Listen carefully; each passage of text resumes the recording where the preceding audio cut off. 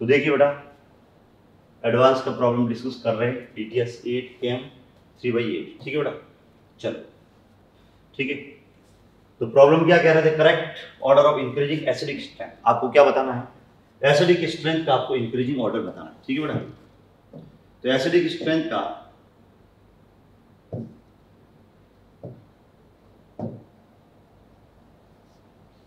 चलो acidic strength का increasing order कैसे चेक करें ध्यान दीजिए बेटा। तो यहाँ पे आपके पास क्या कह रहा है कि chloro acidic acid acidic acid phenol and ethanol का आपको चार कंपाउंड दे रखे इनका आपको एसिडिक ऑर्डर चेक करना है। तो सबसे पहले आप क्या करोगे? इसके स्ट्रक्चर बनाओगे। क्लोरो एसिडिक एसिड का स्ट्रक्चर जो होता है C L C double bond O H आएगा। एसिडिक एसिड का स्ट्रक्चर होगा C S three C double bond O H और फिनॉल का स्ट्रक्चर होगा आपके पास। ये वाला चौथा स्ट्रक्चर होगा इथेनॉल का। ध्यान दीजिए बेटा, जब भी कार्बोक्सिलिक एसिड आए कार्बोक्सिलिक एसिड का एसिडिक एक्टर जो होता है वो फिनॉल से ज़्यादा होता है। और फिनॉल का एसिडिक एसिड एसिडिक एक्टर जो होता है वो अल्कोहल के मुकाबले में क्या होता है? ज़्यादा क्योंकि अल्कोहल के अंदर क्या होता है? प्लस आई इफ़ेक्ट होता है। जबकि फिनॉल के अंदर ये वाला माइनस आई इफ़ेक्ट शो करता है। और माइनस आई इफ़ेक्ट जो है, वो क्या करता है? एसिडिक एक्टर को बढ़ा देता है। कार्बोक्सिलिक एसिड के अंदर क्या होता है? इक्विवेलेंट रेजोनेंट स्ट्रक्चर बनती है। इक्विवेलेंट रेजोनेंट स्ट्रक्चर बनने की वजह से आपके पास क्या होगा? इसका एसिडिक क्या होगा? ज़्यादा होगा। अब देखिए, यहाँ पे आपके पास क्लोरो दे रखा है। क्लोरो क्या है? माइनस आई इफ़ेक्ट है। तो माइनस आई इफ़ेक्ट शो करने की वजह से इसका एसिडिक क्या होगा? ज़्यादा होगा, जबकि इसका आपके पास क्या होगा? कम होगा। तो सबसे ज़्यादा जो होगा, आपके पास क्या होगा? क्लोरो एसिटिक एसिड का। उसके बाद में आपके पास क्या है? एसिडी है। क्योंकि दोनों के अंदर क्या है? कार्बोक्सिलिक एसिड का ग्रुप है। फिर बाद में आपके पास क्या फिनॉल उसके बाद मिथेनॉल इसलिए आंसर जो होगा बेटा, कौन सा होगा? थर्ड वाला आंसर हो जाएगा। आगे नेक्स्ट चलिए। अगले प्रॉब्लम के बारे में डिस्कस करते हैं। चलो। नेक्स्ट प्रॉब्लम क्या कह रहा है? uh, आपके पास when small amount of FeCl3 is added to freshly prepared FeOH का whole thrice reddish brown colloidal solution obtained. The phenomenon is called. देखो सरफेस केमिस्ट्री के अंदर आपने इजीली पढ़ लिया होगा। सिंपल तरीके से कि फ्रेशली प्रिपेयर्ड आपके पास कोई सा भी प्रेसिपिटेट दे रखा है और उसके अंदर स्मॉल अमाउंट इलेक्ट्रोलाइट का डालते हो तो आपके पास क्या हो जाता है कि वहाँ पे कोलोइडल सॉल्यूशन बनता है। प्रोसेस को हम क्या कहते हैं? पेप्टाइजेशन कहते हैं। इस प्रोसेस को क्या बोलेंगे बेटा पेप्टाइजेशन ठीक? नेक्स्ट चलिए।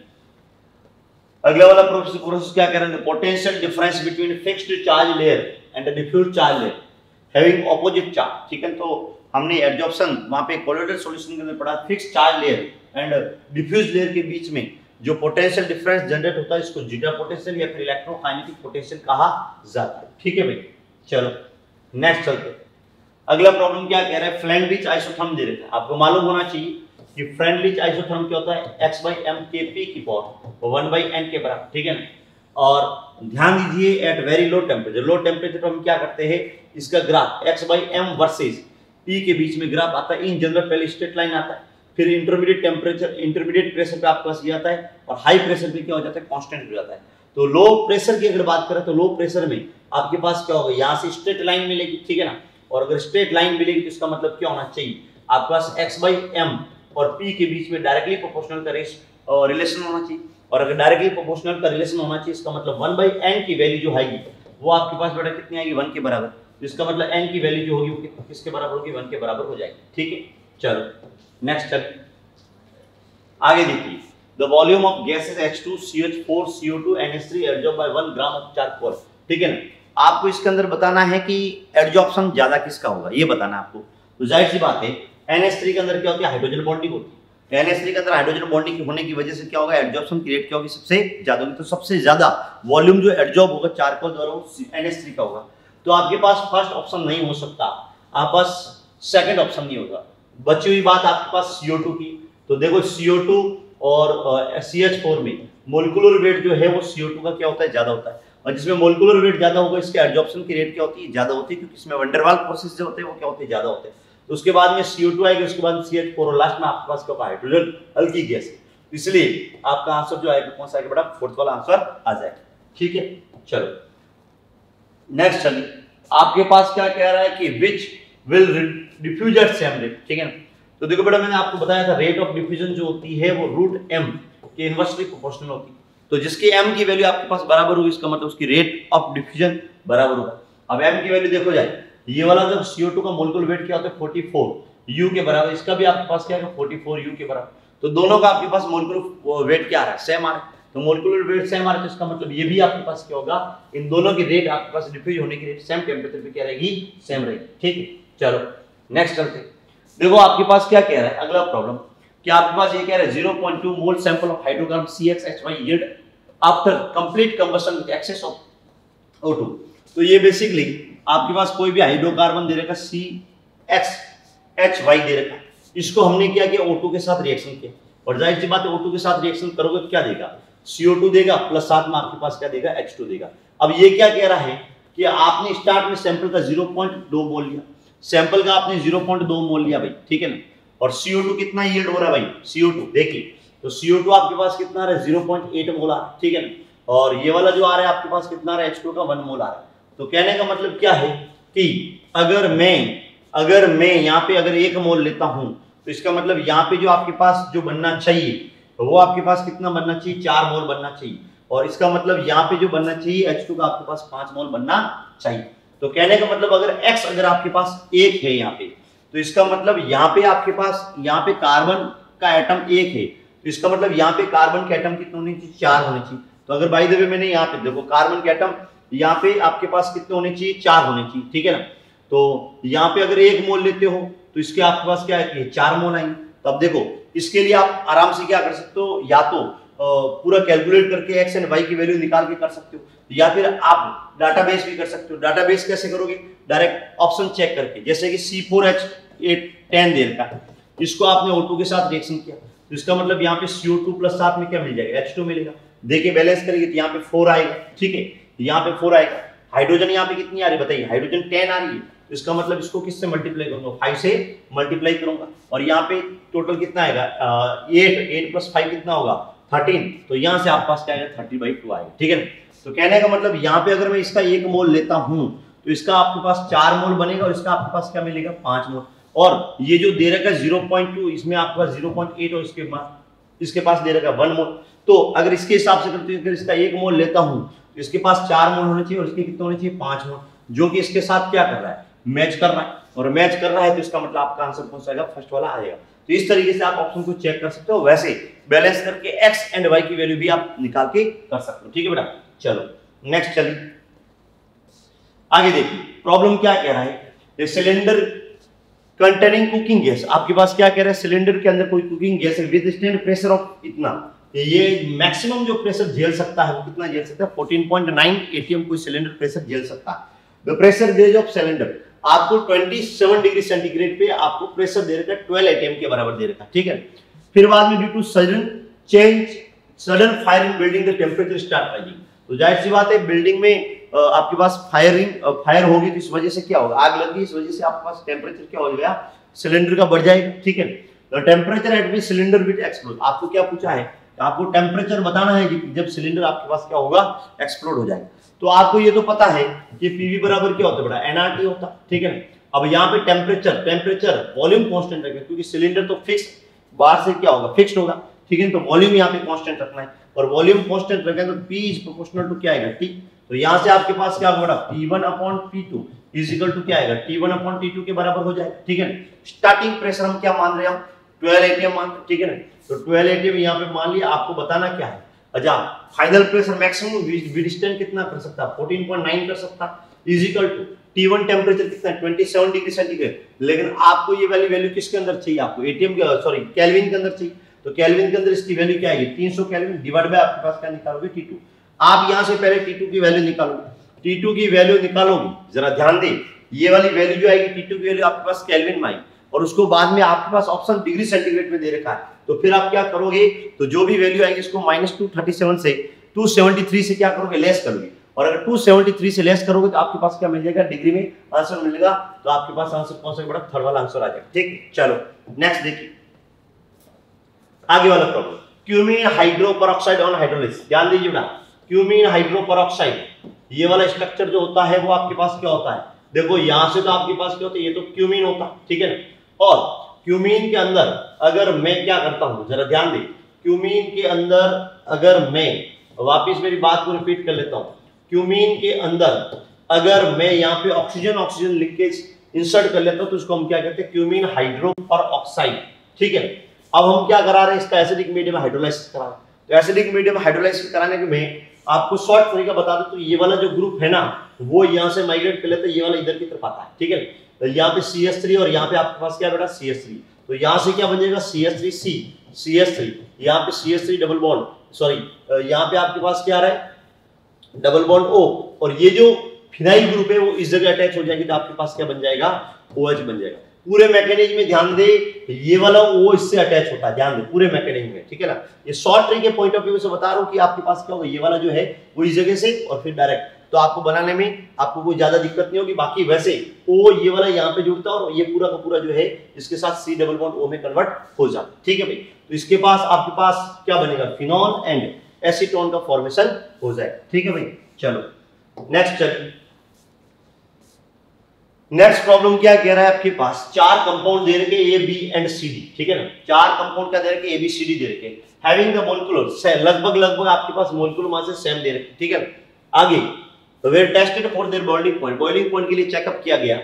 It was found that compound C is highest point ऐसा बताया गया कि चारों के अंदर कंपाउंड सी जो है वो हाईएस्ट बॉइलिंग पॉइंट रखता है। ठीक है तो आपको ये पूछा कि ये कंपाउंड सी कौन सा हो सकता है। तो इसलिए आपको चारों ऑप्शन चेक करने पड़ेंगे। और चारों ऑप्शन के अंदर आपको मालूम होना चाहिए कि अल्कोहल के अंदर क्या होता है। हाइड्रोजन बॉन्डिंग होती है। हाइड्रोजन बॉन्डिंग होने की वजह से आपके पास क्या होगा? बॉइलिंग पॉइंट क्या होगा? सबसे मैक्सिमम होगा। इस वजह से मोस्ट लाइकली जो होगा सी वो आपके पास कौन सा आएगा? एल्कोहल आ जाएगा। ठीक है बेटा चलो नेक्स्ट चलिए। आगे। यस पैराग्राफ फ़र्स्ट को देखिए बेटा पैराग्राफ फ़र्स्ट क्या कह रहा है? पहले पैराग्राफ को ढंग से पढ़िए।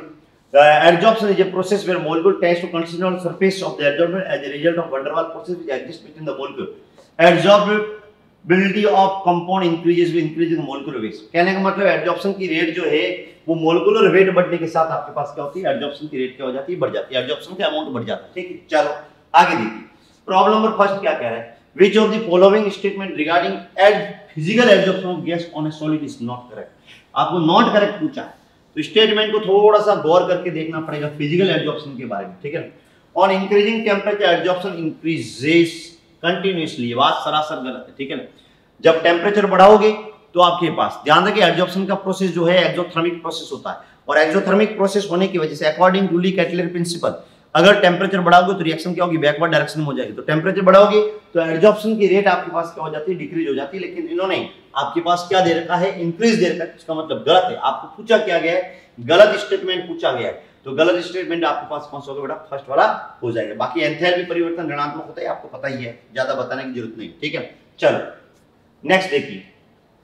फिर बाद में यस आगे देखिए क्या which of the following is not characteristic of chemical absorption आपको ये बताना है कि केमिकल एब्जॉर्प्शन का कैरेक्टरिस्टिक कौन सा नहीं, ठीक है?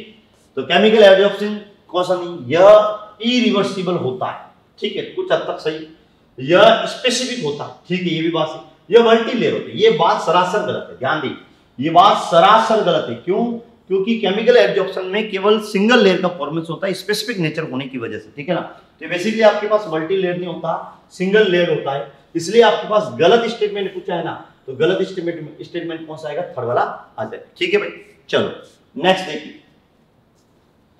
अगला प्रॉब्लम देखो अगला प्रॉब्लम आपके पास पैराग्राफ दे रहे वंडरवाल गैस के related p plus A N square divide by V square v minus N B is equal to N R T ठीक है? जो भी है, अब देखो थर्टीन वाला प्रॉब्लम देखो, आपको पूछा गया है कि संपीड़ित कार्य कंप्रेसिबिलिटी कर और आपको बताने की ज़रूरत नहीं है कंप्रेसिबली फैक्टर क्या होता है? पी बाई आर टी के बराबर होता है रियल गैसेस के इसके पास क्या आएगा? पी बाई आर टी के बराबर आ जाएगा, ठीक है? चलो नेक्स्ट देखिए नेक्स्ट देखिए, यहाँ पे इनके बारे में पूछा कि ए क्या रिप्रेजेंट कर रहा है? तो ज़ाहिर सी बात है ए जो है, वो किसको रिप्रेजेंट कर रहा है? बेसिकली मोलिकुलर फोर्सेस को जो मोलिकुल्स प्रेजेंट दे रखे मोलिकुल के बीच में जो मोलिकुलर फोर्सेस है उनको रिप्रेजेंट करता है, ठीक है? तो coefficient A was introduced to account for existence of mutual attraction between the molecule molecule के बीच में म्यूचुअल अट्रैक्शन को रिप्रेजेंट करता है, कौन सा? ये, क्या? आपके पास ए ठीक है ना? सेकंड मतलब ये फ़र्स्ट वाली बात सही, ठीक है ना? सेकंड क्या कह रहा है? आपके पास A upon V square is equal to cohesive force कहलाता है। ज़ाहिर बात, ये कोहेसिव फोर्स है, ठीक है? कोई दिक्कत नहीं फोर्स ऑफ़ कोहेशन कहलाता है। The coefficient b bar introduce account for volume of gases हाँ, ये तो आपको पता ही कि देखो, a जो है स्पेशली b n तो स्पेशली आपके पास b किसको रिप्रेजेंट कर रहा है? B बेसिकली एक्सक्लूडेड वॉल्यूम को रिप्रेजेंट कर रहा है, ठीक है तो ये बात एकदम सही है तो आपके पास आंसर कौन सा बड़ा फोर्थ वाला आ जाएगा, ठीक है? चलो नेक्स्ट चलिए। आगे देखिए। यस ये पैराग्राफ थर्ड दिन का मैं डायरेक्ट आपको डायरेक्ट प्रॉब्लम 15 पे लेके चल जाता हूँ, ये आप पढ़ लेना। व्हेन फिनॉल इज़ रिएक्टिव ध्यान रखिए यहाँ पे क्या पूछा गया फिनॉल की रिएक्शन किसके साथ करा रहा हूँ ब्रोमीन वाटर के साथ करा। बड़ा फिनॉल की रिएक्शन ब्रोमीन वाटर के साथ। ओएच बहुत अच्छा इलेक्ट्रॉन डोनेटिंग ग्रुप है। और साथ ही साथ यहाँ पे क्या होता है? बी आर पॉजिटिव बहुत ज़्यादा बनता है। इस कंडीशन में आपको पता है कि OH जो है और तो पैरा डायरेक्ट होता है और और तो पैरा डायरेक्ट होने की वजह से बी आर तीनों पोजिशन पे एक साथ आ जाता है। ये स्पेशल ध्यान दे, तीनों पोजिशन पे एक साथ आ जाता है। अगर कार्बन डाइसल्फाइड ब्रोमीन के साथ कार्बन डाइसल्फाइड होता तो उस कंडीशन में आपके पास क्या होता, या तो ऑर्थो पे या फिर पैरा पे तीनों एक जगह एक साथ नहीं जुड़ पाते। इसलिए आपका आंसर कौन सा two four six tribromophenol हो जाएगा, ठीक है? चलो नेक्स्ट चलिए अगला प्रॉब्लम क्या है? कह रखा है ऑर्गेनिक कंपाउंड दे रखा है। क्या दे रखा है बेटा? Four nine C four H nine C L दे रखा है, ठीक है? ऑन रिएक्शन विद एन एडाइटर ये तो आपको बताने की ज़रूरत नहीं है कि वुड्स रिएक्शन की एग्जांपल एन इथर आ जाए तो एन इथर का मतलब ही क्या है वुड्स रिएक्शन ठीक है? आगे देखिए। क्या कह रहा है कि हाइड्रोकार्बन विच ऑन मोनोपोलर वगैरह वगैरह वन डाइक्लोरो आपको ये कह रहा है कि भाई, ये वाला जो दे रखा है ना, इसका अगर वुड्स रिएक्शन कराता हूँ तो वुड्स रिएक्शन कराने के बाद में जो प्रोडक्ट बनता है, वो प्रोडक्ट आपके पास क्या करता है मोनोक्लोरोनेशन प्रोडक्ट देता है, ठीक है? तो देखिए तो वैसे इसके अलग अलग स्ट्रक्चर बना सकते आप पास चार कार्बन एक, ये वाला स्ट्रक्चर बना सकता हूँ ठीक है ना? दूसरा मैं ये वाला स्ट्रक्चर बना सकता हूँ, ठीक है ना? तीसरा और बनाना चाहो तो ये वाला बना सकते हो, एक, दो, तीन, ये वाला बना सकता हूँ, ठीक है? और चौथा स्ट्रक्चर जो बना सकता हूँ, वो इसका ये वाला बना सकता हूँ, ठीक है? वन टू थ्री फोर ठीक है? चलो। अब देखो, सबकी अगर मैं वुड्स रिएक्शन कराता हूँ, ठीक है? तो सबकी वुड्स रिएक्शन कराता हूँ, पहले इसकी वुड्स रिएक्शन कराता हूँ इसकी वोल्ट रिएक्शन कराऊँगा तो क्या होगा? कपलिंग हो जाएगी। तो कपलिंग हो जाएगी तो यहाँ पे आपके पास क्या बन जाएगा? ये वाला बन जाएगा, ठीक है? लेकिन ध्यान देने वाली बात क्या है? क्या ये मोनोक्लोरिनेशन प्रोडक्ट देता है क्या? ये वाला आपके पास मोनोक्लोरिनेशन प्रोडक्ट नहीं देगा, क्योंकि यहाँ पे भी सी जुड़ेगा। तो अलग बन जाएगा, यहाँ पे सी जुड़ेगा तो अलग बन जाएगा तो ये वाला आंसर नहीं हो सकता मतलब ये वाला नहीं हो सकता, ठीक है? चलो, इनके बारे में क्या ख्याल है?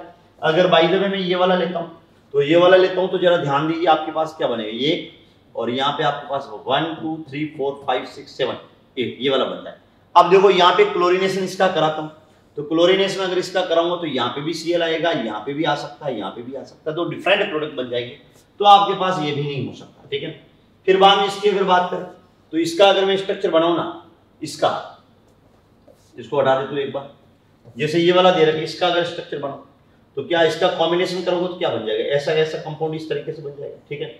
यहाँ पे वन टू थ्री फोर अब इसका अगर मैं क्लोरिनेशन करूँ तो वहाँ पे डिफरेंट डिफरेंट पॉसिबल है। क्योंकि यहाँ पे अलग बन सकता है, इस जगह पे अलग बन सकता है, इस जगह पे भी अलग बन सकता है।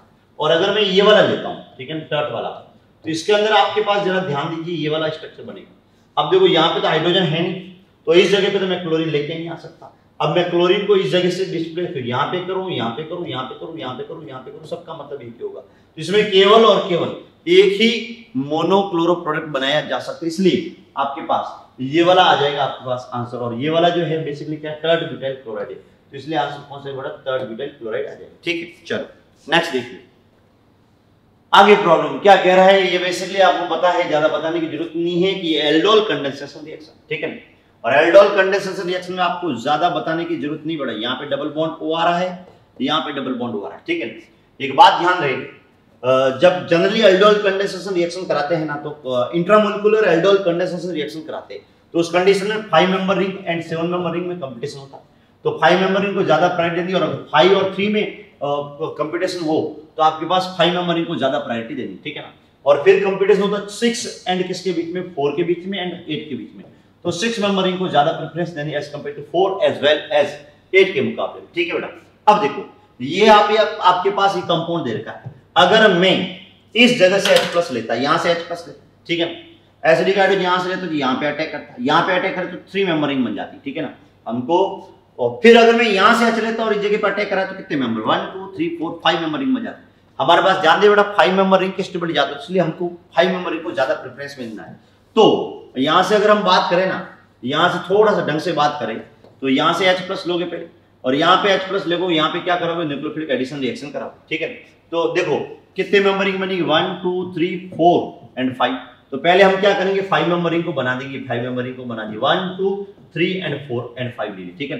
अब देखो दो नंबर पे डबल बॉन्ड ओ है। चलो, दो नंबर पे डबल बॉन्ड ओ बना दिए डबल बॉन्ड ओ बना दिए, ठीक है? अब ये वाला माइनस इस जगह पे अटैक करा तो ये वाला OH ग्रुप में कन्वर्ट होगा। पाँच नंबर पे आपके पास क्या आएगा? OH पाँच नंबर पे हमने क्या लिया? OH और साथ ही साथ इधर देखो साइड में CS3 ग्रुप लगा हुआ है तो CS3 ग्रुप को भी यहाँ पे जोड़ना पड़ेगा, ठीक है? अब यहाँ पे OH आ गया, ठीक है? अब आपके पास क्या करे? साथ में हीटअप का साइन दे रखा। और हीटअप का साइन दे रखा तो इसका मतलब यहाँ पे इवन सीबी मैकेनिज्म फॉलो करना पड़ेगा। और इवन सीबी मैकेनिज्म फॉलो करोगे तो यहाँ पे आपके पास जो प्रोडक्ट बनेगा वो क्या बन जाएगा? डबल बॉन्ड ओ, यहाँ पे। इस जगह पे आपके पास क्या आएगा? सी आ जाएगा। तो आपके पास फाइनल प्रोडक्ट जो बनेगा एल्डोल कंडेंसेशन का ये वाला प्रोडक्ट बनेगा। और ये वाला जो मैच कर रहा है वो केवल केवल एक ही जगह मैच कर ये वाला है। अच्छा अगर बाई द वे आपके पास हीटअप का साइन नहीं दे रखा होता तो उस कंडीशन में यहाँ पे ओ OH आ जाता। तो ये वाले होने की पॉसिबिलिटी क्या होती? है ज़्यादा होती। ठीक है, चलो नेक्स्ट देखिए। नेक्स्ट प्रॉब्लम देखिए भाई। यस 18 प्रॉब्लम को देखिए। 18 प्रॉब्लम भी इंट्रामोलिकुलर एल्डोल कंडेंसेशन के एग्ज़ाम पे पली 18 प्रॉब्लम जो है इंट्रामोलिकुलर क्योंकि यहाँ पे H प्लस देखो, यहाँ से H प्लस लोगे तो यहाँ पे अटैक कराओगे कराओगे नहीं कराओगे, ठीक है और यहाँ से H प्लस लोगे तो यहाँ पे तो इधर की तरफ़ one two three four five member ring बन जाए। चलो, मैं बना देता हूँ, एक साइड में फाइव मेंबर रिंग बना दी बना दी। लेकिन ध्यान देने वाली बात, जब यहाँ से अटैक करो, इधर one two three four five six seven इस साइड में सेवन मेंबर रिंग बनेगी। तो एक साइड में फाइव मेंबर रिंग बनानी और दूसरी साइड में आपके पास क्या से बनानी सेवन मेंबर देखिए, ये जब यहाँ पे अटैक करेगा तो यहाँ पे सी डबल बॉन्ड ओ बना रहेगा, यहाँ पे सी डबल बॉन्ड ओ बना रहेगा। और जब ये यहाँ पे अटैक करेगा तो ये वाला किसमें कन्वर्ट हो जाएगा? ओ OH में कन्वर्ट हो जाएगा, ठीक है लेकिन यहाँ पे भी हीटअप का साइन दे रखा है। और हीटअप का साइन दे रखा है तो ओ OH माइनस की प्रेजेंस में अगर हीटअप दो तो एलिमिनेशन रिएक्शन हो जाएगी इवन सीबी मैकेनिज्म फॉलो हो जाएगा। तो यहाँ पे आपके पास डबल बॉन्ड और इस जगह पे आपके पास कौन सा आएगा? ये वाला कंपाउंड सेवन मेंबरिंग का कंपाउंड ध्यान दें one two three four five six seven membered यहाँ पे डबल बॉन्ड आना है और यहाँ पे ओ OH यहाँ से एच टू हो जाएगा। तो इसका मतलब आपके पास आंसर कौन सा फोर्थ वाला आ गया ठीक है बेटा चलो नेक्स्ट देखिए। आगे देखिए पैराग्राफ नंबर फाइव देखो बेटा पैराग्राफ नंबर फाइव जो है, वो पीओसी का एग्ज़ाम्पल है प्रैक्टिकल ऑर्गेनिक केमिस्ट्री का एग्ज़ाम्पल है। ठीक है? तो देखो, यहाँ पे क्या कह रहा है प्रॉब्लम ग्लिसरॉल जो है, वो कह रहा है कि बॉयल होता है 290 डिग्री सेंटीग्रेड पे डिकम्पोज होता है। तो ग्लिसरॉल के लिए बताने की ज़रूरत नहीं हम। जनरली कौन सा यूज़ करते हैं? वैक्यूम डिस्टिलेशन का प्रोसेस यूज़ करते हैं। तो इसमें वैक्यूम डिस्टिलेशन का प्रोसेस एग्जैक्टली फिक्स है। ये आपको ध्यान रखना है, ठीक है? चलो नेक्स्ट देखिए madam. Mixture of benzoic acid and phenol can be separated by बोला क्या गया? कि बेंजोइक एसिड एंड फिनॉल का मिक्सचर को सेपरेट आउट करना है। और मैंने बताया था सेपरेट आउट करने के प्रोसेस में एक के साथ रिएक्शन करानी है और एक के साथ आपको रिएक्शन नहीं करानी। देखिए बेंजोइक एसिड फिनॉल और दूसरी बात करें हम बेंजोइक एसिड की। सॉरी हाँ यस बेंजोइक एसिड तो बेंजोइक एसिड आपके पास ये वाला दे रखा है, ठीक है तो बेसिकली बेंजोइक एसिड जो है, वो NaHCO3 के साथ रिएक्शन कर लेता है, जबकि फिनॉल जो है, वो NaCO3 के साथ रिएक्शन नहीं कर सकता, ठीक है? इस वजह से इसको डिस्टिंग्विश करने के लिए हम क्या करते हैं? NaCO3 का यूज़ कर सकते हैं आंसर फोर्थ आ जाए, ठीक है बेटा? चलो नेक्स्ट चलिए। Yes section B section B में फ़र्स्ट प्रॉब्लम क्या करें paragraph a graph is plotted between P V M versus Y axis वगैरह वी एम उनके बीच में दे रखा है, ठीक है? तो आपको मालूम है वंडरवाल इक्वेशन के बारे में क्या है? वंडरवाल इक्वेशन क्या? पी प्लस यहाँ पे आपके पास वन मोल के लिए निकालना ठीक है ना? तो वन मोल के लिए आपके पास क्या है? A divide by V M का स्क्वायर वन मोल के लिए वी एम ठीक है ना? प्लस साथ में क्या आएगा?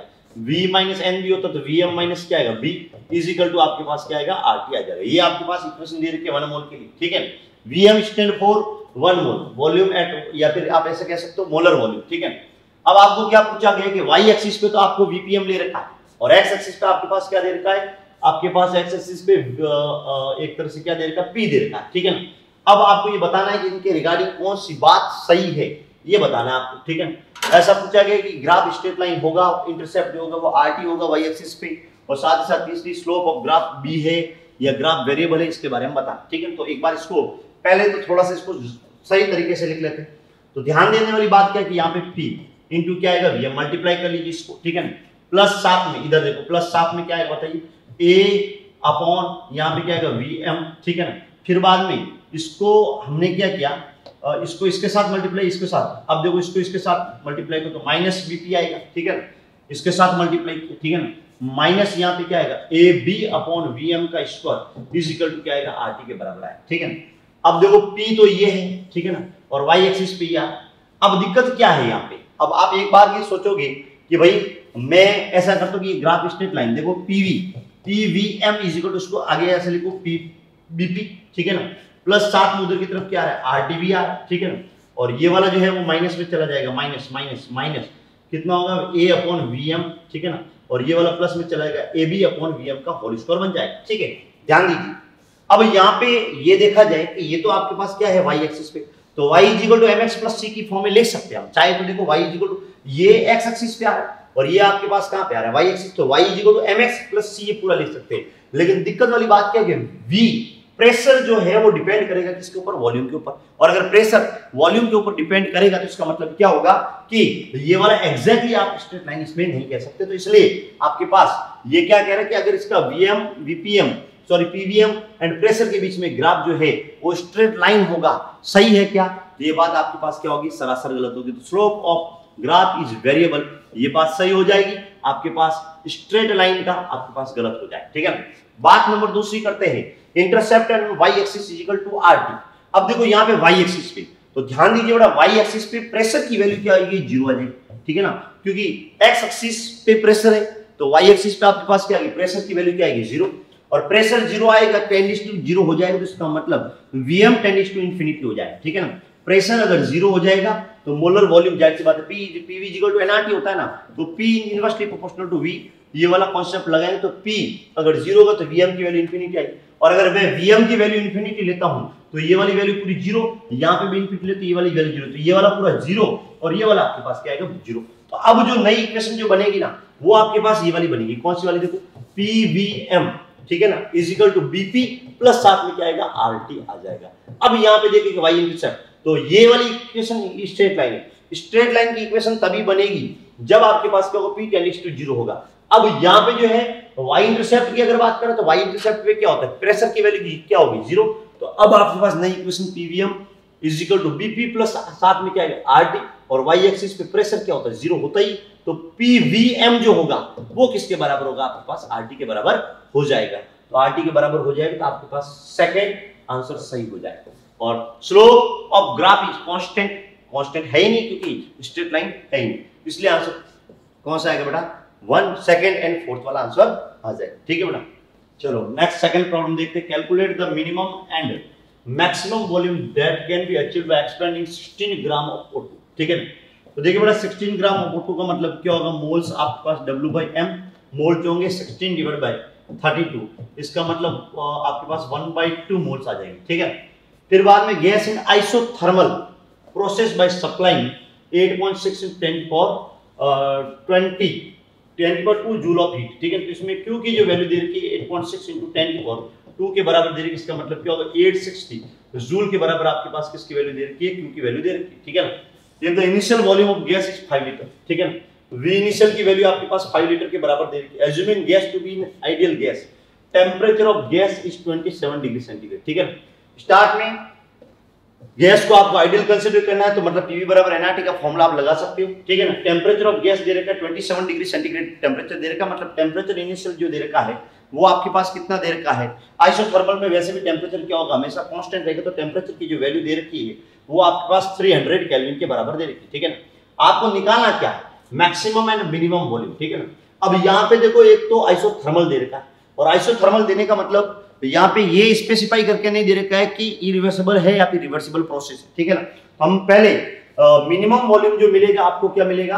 एक्सपेंशन के अंदर मिनिमम वॉल्यूम जो मिलेगा, आप अगर ग्राफ की अगर बात करें तो ग्राफ के अंदर जरा ध्यान देना पीवीजी पी और वी में अगर ग्राफ बनाओ तो रिवर्सिबल में ग्राफ आपके पास इस तरीके से आता है। जबकि इरिवर्सिबल में स्टेप वाइज होता है, इस तरीके से होता है या फिर इस तरीके से ऐसे जाएगा, फिर बाद में नीचे की तरफ़ आएगा, ठीक है? ना तो इसके हिसाब से अगर देखा जाए तो आपके पास क्या होगा? वर्कडन जो होगा, वो रिवर्सिबल प्रोसेस में आपके पास कम होगा, जबकि इरिवर्सिबल प्रोसेस में क्या होगा? ज़्यादा होगा एक्सपेंशन के दौरान। किसके दौरान? एक्सपेंशन के दौरान, ठीक है? ना तो अब हम यहाँ पे अगर बात करें तो वॉल्यूम की, हमारे पास वर्कडन नहीं दे रखा वॉल्यूम दे रखा मिनिमम वॉल्यूम जो मिलेगा रिवर्सिबल मिलेगा और मैक्सिमम वॉल्यूम जो मिलेगा वो आपके पास क्या मिलेगा? इरिवर्सिबल मिलेगा। रिवर्सिबल वॉल्यूम के लिए वर्कडन का जो फॉर्मूला होता है 2.303 आरटी लॉग आपके पास क्या आएगा? V2 डिवाइड बाई V1 के बराबर आ जाएगा। ठीक है? चलो। अब देखो वर्कडन आपके पास कितना मान लिया आपके पास कितना दे रखा है? 8.6 इंटू टेन की पावर मतलब 860 एक तरह से ऐसा कह सकते हो। 860 ठीक है ना? इज़ इक्वल टू 2.303 ये वाली वैल्यू जूल में दे रखी आर की वैल्यू 8.314 लेनी पड़ेगी इनटू टेम्परेचर कितना दे रखा है आपके पास? टेम्परेचर जो दे रखा है 300 केल्विन दे रखा लॉग V2 V2 निकालना है आपको, और V1 की जो वैल्यू दे रखी है आपके पास कितनी दे रखी है? 5 लीटर के बराबर दे रखी है, ठीक है ना? इसको आप कैलकुलेट करोगे तो आपके पास V2 की जो वैल्यू आएगी वो आपके पास टेन लीटर के बराबर आ जाएगी, ठीक है ना? और ये वाला रिवर्सिबल का है। और सेम आपको इरिवर्सिबल का फॉर्मूला लगाना इरिवर्सिबल वर्डन का जो फॉर्मूला होगा minus P external into delta V के बराबर होगा। तो इसका आपको फॉर्मूला लगाना है, उससे आपके पास वी मैक्सिमम की वैल्यू आ जाएगी। ठीक है बेटा? चलो नेक्स्ट चलते अगला प्रॉब्लम क्या कह रहा है? ध्यान दीजिए बेटा।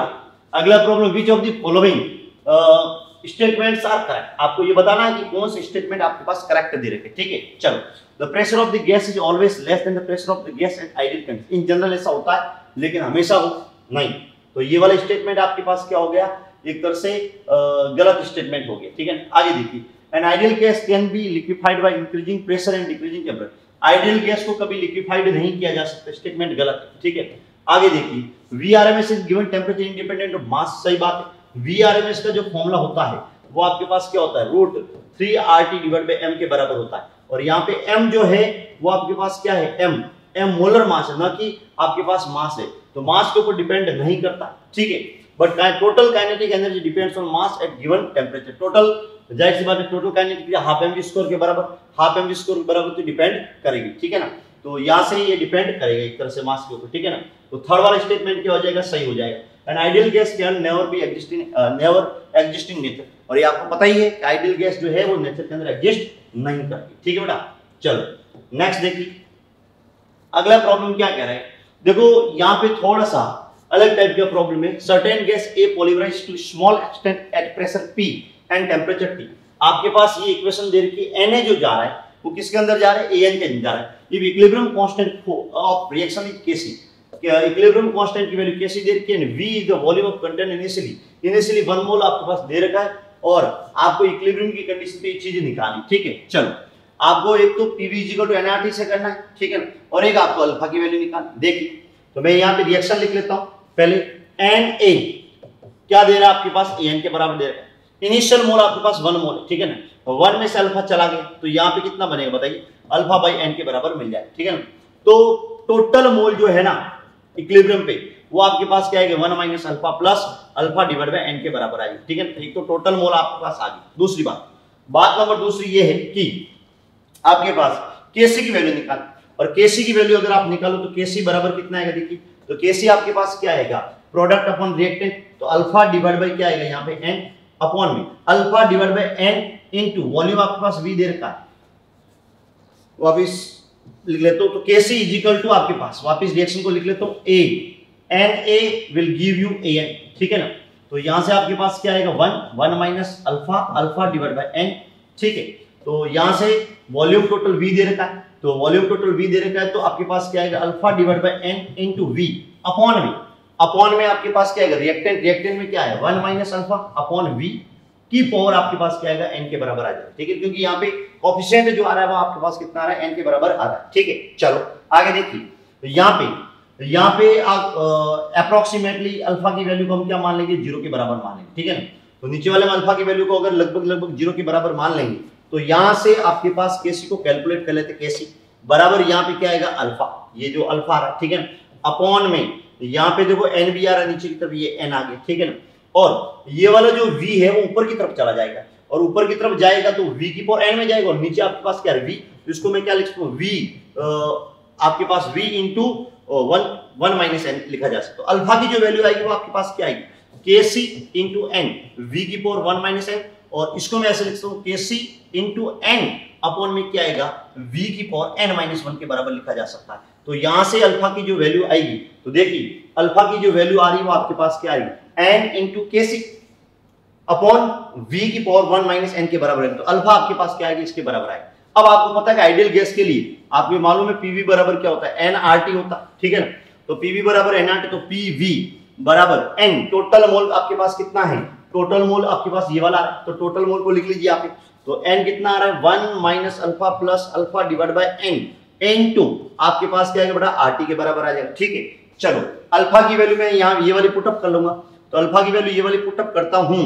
तो यहाँ से आपके पास क्या वन माइनस। यहाँ से अल्फ़ा की वैल्यू को पुटअप कीजिए आप। N K C divide by क्या वी की power N minus one plus यहाँ से एन एन कट जाएगा तो यहाँ से क्या K C divide by V की पावर एन माइनस वन ठीक है? इन आपके पास क्या आएगा? आर टी तो यहाँ से आपके पास क्या मिलेगा? पीवी इज़ इक्वल टू यहाँ से आपके पास ऐसा आ जाएगा। वन माइनस माइनस को मैं कॉमन ले लिया। और साथ ही साथ ऊपर में से मैंने क्या केसी को कॉमन ले लिया। ठीक है ना? केसी को कॉमन लूँगा तो ऊपर की तरफ़ क्या आएगा? एन माइनस वन आएगा। और नीचे आपके पास क्या है? वी की पावर एन माइनस वन है ही। और यहाँ से आपके पास क्या आएगा? आर टी आ जाएगा। तो ये वाला जो ऑप्शन मैच कर रहा है, वो किसमें कर रहा है? सेकंड के अंदर मैच कर रहा है। ठीक है? तो इसका आंसर जो बड़ा सेकंड एंड थर्ड वाला आंसर आ जाएगा ठीक है? चलो नेक्स्ट चलिए। नेक्स्ट देखिए। इनकरेक्ट स्टेटमेंट के बारे में पूछा भाई। इनकरेक्ट स्टेटमेंट ठीक है ना? इनकरेक्ट स्टेटमेंट के बारे में पूछा, ठीक है ना? तो पहले क्या करेंगे इनकरेक्ट स्टेटमेंट कौन सा? फॉर कोगुलेशन ऑफ़ आपके पास एस टू एस ध्यान दीजिए बड़ा ये वाला नेगेटिव सोल होता है। और नेगेटिव सोल के लिए हम क्या लेते हैं? कोगुलेशन के लिए पॉजिटिव आयंस का यूज़ कर सकते हैं, ठीक है ना? तो नेगेटिव सोल यहाँ पे पॉजिटिव आयन आर इफ़ेक्टिव थी बात सही, ठीक है? For the coagulation of aluminium hydroxide salt Ba plus two ion more effective than Na plus अरे एल्यूमिनियम हाइड्रोक्साइड जो है, वो क्या है? पॉजिटिव सॉल है। और पॉजिटिव सॉल के लिए हम पॉजिटिव का यूज़ कर सकते हैं क्या? पॉजिटिव सॉल के लिए पॉजिटिव का यूज़ नहीं कर सकते। तो सेकंड स्टेटमेंट क्या होगा? गलत हो जाएगा। आगे देखिए। Cellulose solution in example multi molecular colloidal गलत बात। ये जो है मैक्रोमोलिकुलर होगा। तो स्टेटमेंट थर्ड गलत हो जाएगा। फोर्थ क्या कह रहे हैं?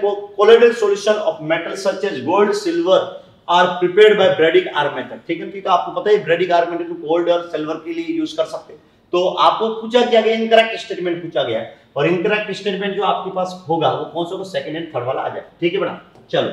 नेक्स्ट देखिए आप। नेक्स्ट क्या कह रहा है? Which of the following statement is are correct आपको क्या पूछा है? कौन से स्टेटमेंट आपके पास करेक्ट है? देखिए higher is the gold number of lyophilics और lesser is the population number ठीक है आपको ये पूछा गया कि गोल्ड नंबर की वैल्यू हायर होती है तो इसका मतलब कोगुलेटिंग पावर है। आ, क्या होती है? कम होती है। एकदम सही बात ठीक है? चलो सेकंड देर क्या दे रखा है? An electrolyte can coagulate both positive and negative salt सही बात है। भाई इलेक्ट्रोलाइट के अंदर कैटाइन और आयन दोनों मौजूद होती है इस वजह से पॉजिटिव को भी कर सकता है वो नेगेटिव को भी कर सकता है ठीक है impurities are present in colloid makes it more stable गलत बात ठीक है ना? बेसिकली कोलोइड जो है वो ज़्यादा स्टेबल किस वजह से होता है? बेसिकली इन जनरल चार्ज की वजह से क्या होता है? ज़्यादा स्टेबल होता है फिर ब्राउन एंड मूवमेंट की वजह से ज़्यादा स्टेबल होता है ठीक है ना? फिर बाद में फोर्थ स्टेटमेंट क्या कह रहा है? Dialysis is a process to remove impurities of ions and molecule from the colloid ज़ाहिर सी बात है कोलोइड को आपको एक तरह से प्यूरिफाई करने के लिए जो प्रोसेस यूज़ करते हैं, वो हम क्या करते हैं? डायलिसिस का प्रोसेस करते हैं फोर्थ वाली स्टेटमेंट क्या होगा?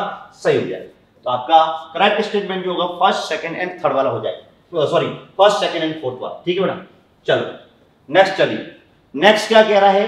आपके पास आरसीएचओ को, ठीक है ना? किसमें कन्वर्ट करना आरसीएच को ओएच में कन्वर्ट करना है, ठीक है तो आपको ये तो पता है, डिबाल एच जो है, ये यहाँ पे यूज़ नहीं कर सकते। आपको मैंने बताया था कि डिबाल एच जो होता है, वो बेसिकली किसके लिए यूज़ होता है? डिबाल एच नाइट्राइल तथा एस्टर के पार्शियल रिडक्शन के लिए यूज़ होता है। एल्डिहाइड में कन्वर्ट करता है एल्डिहाइड को रिड्यूस नहीं कर पाता, ठीक है ना? लिथियम एल्यूमिनियम आइड आपको पता है almost all polar group functional group को, सभी पोलर फंक्शनल ग्रुप को क्या करता है? रिड्यूस कर लेता है, ठीक है? H2PDBSO4 ये वाला यूज़ नहीं कर सकते, क्योंकि यहाँ पे आपके पास क्या ले लिया? आपने यहाँ पे क्या ले लिया? एक तरह से पॉइजन ले लिया, इसलिए रिड्यूस नहीं कर पाए, ठीक है? आगे देखिए। फिर बाद में NaBH4 NaBH4 हाँ। ये इसको रिड्यूस कर सकता है एल्डिहाइड एंड कीटोन को अल्कोहल में कन्वर्ट कर लेता है। तो इसलिए इसका आंसर जो होगा सेकंड एंड फोर्थ आ जाएगा ठीक है बेटा? चलो। नेक्स्ट देखिए। Next form which of the following can react with Tollens reagent Tollens reagent के साथ कौन रिएक्शन करता है? तो देखो, जितने भी एल्डिहाइड है वो कर लेंगे। टॉलेंस रीजन पे आपके पास क्या लेते हैं? बेसिक मीडियम और अगर बेसिक मीडियम लेते हो तो बेसिक मीडियम OH माइनस क्या करेगा? H प्लस को ले लेगा।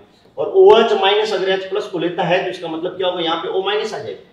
और O माइनस आएगा तो यहाँ से ये हट जाएगा तो इसका मतलब क्या होगा? यहाँ पे O माइनस और यहाँ पे आपके पास क्या आएगा? डबल बॉन्ड ये एल्डिहाइड बन जाए और यहाँ पे आपके पास एल्डिहाइड बन रहा है। तो एल्डिहाइड के साथ तो क्या करता है? टॉलेंस रेजेंट रिएक्शन कर लेता है। तो इसलिए आपके पास फ़र्स्ट हो जाएगा, ठीक है ना? सेकंड ये आपके पास क्या? अल्फ़ा हाइड्रोक्सी कीटोन है। और अल्फ़ा हाइड्रोक्सी कीटोन के साथ टॉलेंस रेजेंट रिएक्शन करता है, ठीक है इसमें रिएक्शन नहीं होगी।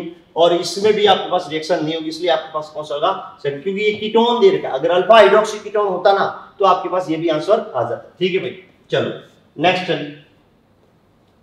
अगला प्रॉब्लम देखो नेक्स्ट प्रॉब्लम क्या कह रहे थे? फॉलोइंग आर करेक्ट स्टेटमेंट आपको क्या बताया है? करेक्ट स्टेटमेंट के बारे में बताना है, ठीक है ना?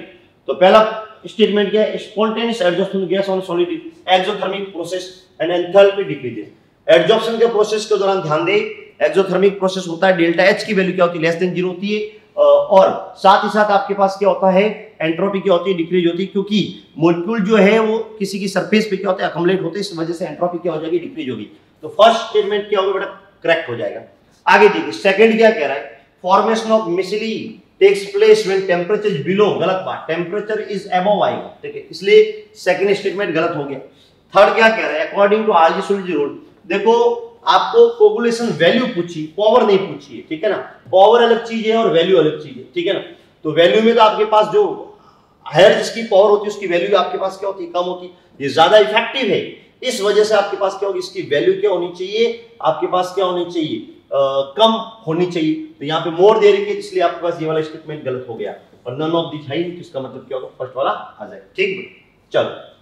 नेक्स्ट देखिए आप। यस देखो नेक्स्ट वाला प्रॉब्लम डिफ्यूजन के ऊपर बेस्ड है।